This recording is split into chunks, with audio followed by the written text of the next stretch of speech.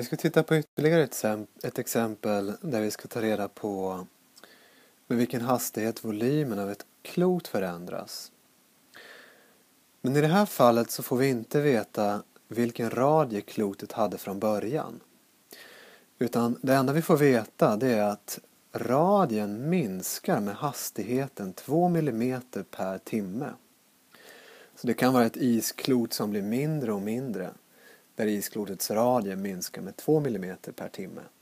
Däremot så vet vi alltså inte vilken radie klotet hade från början. Den här gången ska vi tala om med vilken hastighet, med vilken hastighet volymen förändras när radien är 5 decimeter. Det vill säga volymen minskar och precis i det ögonblicket när radien är 5 decimeter med vilken hastighet förändras volymen då? Lösningen i det här fallet kan inte bygga på att vi vet radiens funktion. Utan vi får utgå ifrån att volymen den beror på radien som vi nu också vet beror på tiden. Den minskar ju. Men när vi tar fram volymen så får vi använda oss av radien och den endast. Vi vet att klotets volym är 4 pi r upphöjt till 3 genom 3.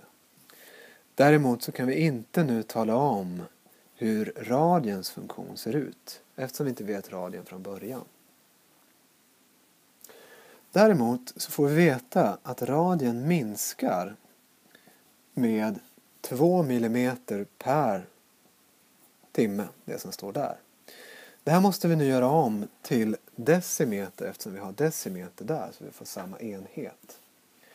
Och 2 mm det är 0,02 decimeter och vi har minustecknet per timme som är alltså hur mycket radien minskar per timme. Däremot hastighet nu, det är derivatan och handlar om volymen så är det derivatans eller volymens derivata. Så vi ska alltså bestämma dv dt.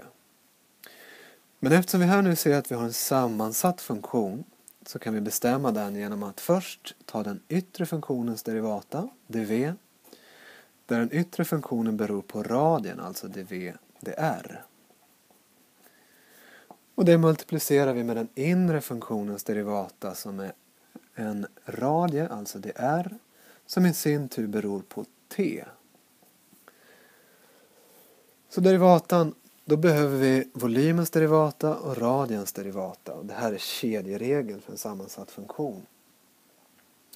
Men tidigare har vi sett att dv, det, det är dt, det har vi redan, alltså den delen. Däremot så vet vi inte vad VDR är, så det måste vi bestämma. Och då ska vi alltså derivera volymen med avseende på radien. Och den yttre är alltså den yttre funktionen. Inre glömde jag skriva där.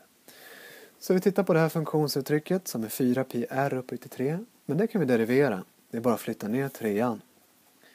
Och multiplicera med 4 pi och r och en tvåa blir kvar där.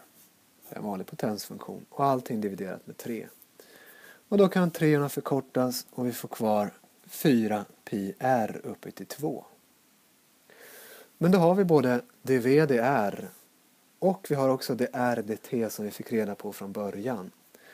Och då kan vi bestämma förändringshastigheten för volymen eller derivatan för volymen som då blir det VDR som vi har där, alltså 4 pi r upphöjt till 2 multiplicerat med det RDT som vi har där och även där. Och med samma enhet får vi då minus 0,02 uttryckt i decimeter per timme.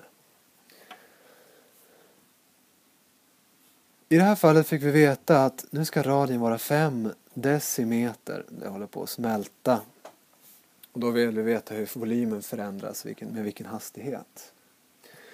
Det ger, och då kan vi sätta in 5 i vår funktion för derivatan där och få att dv t, alltså hastigheten med vilken volymen förändras, är lika med 4 pi och så r ska vara 5 i kvadrat multiplicerat med minus 0,02.